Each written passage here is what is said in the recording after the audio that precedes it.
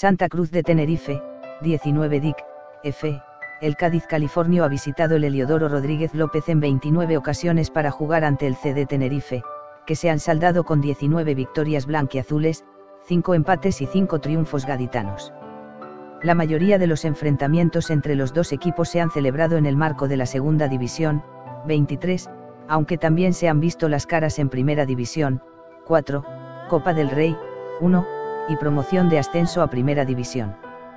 La temporada pasada, gaditanos y tinerfeños se vieron las caras en la isla en dos ocasiones, uno en la fase regular y el otro en la vuelta de la primera eliminatoria por el ascenso.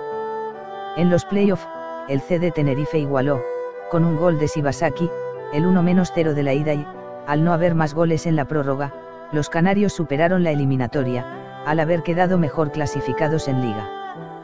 Mientras tanto, en la fase regular, el Cádiz sumó en el último minuto un punto, con un gol de Santa María.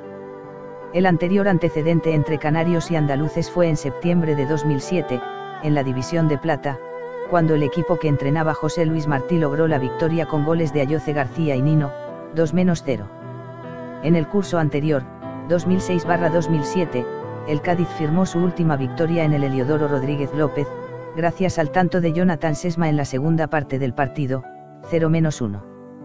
Mientras tanto, el primer antecedente fue en 1956, 3-0, y los canarios ganaron en 13 de los primeros 15 antecedentes históricos.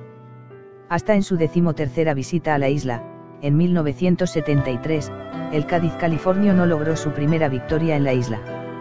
En siete de los antecedentes, el CD Tenerife logró ganar por tres goles de diferencia, en 1956, 3-0, 1957, 4-1, 1958, 3-0, 1961, 3-0, 1963, 4-1, 1967, 3-0, y 1973, 3-0.